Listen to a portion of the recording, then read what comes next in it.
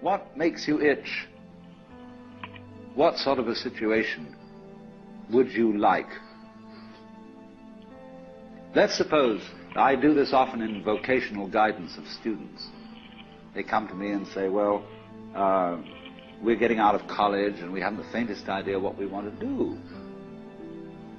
So I always ask the question, what would you like to do if money were no object? What, how would you really enjoy spending your life? Well, it's so amazing. As a result of our kind of educational system, crowds of students say, well, we'd like to be painters, we'd like to be poets, we'd like to be writers, but as everybody knows, you can't earn any money that way. Or another person says, well, I'd like to live an out-of-doors life and ride horses.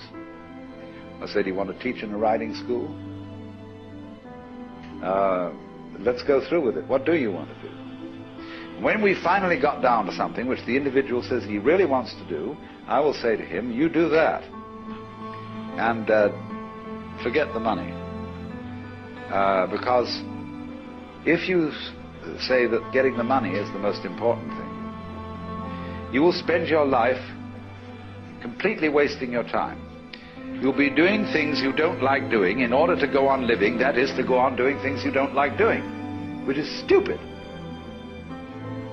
Better to have a short life that is full of what you like doing than a long life spent in a miserable way. And after all, if you do really like what you're doing, it doesn't matter what it is, you can eventually turn it, uh, you could eventually become a master of it. It's the only way to become a master of something, to be really with it. And then you'll be able to get a good fee for whatever it is.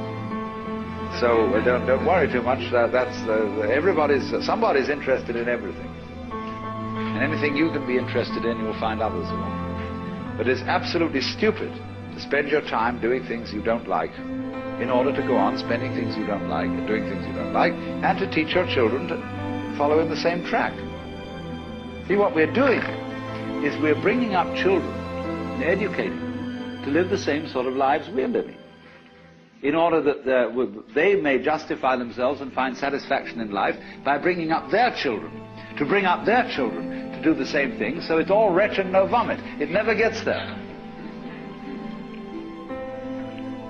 And so, therefore, it's so important to consider this question. What do I desire?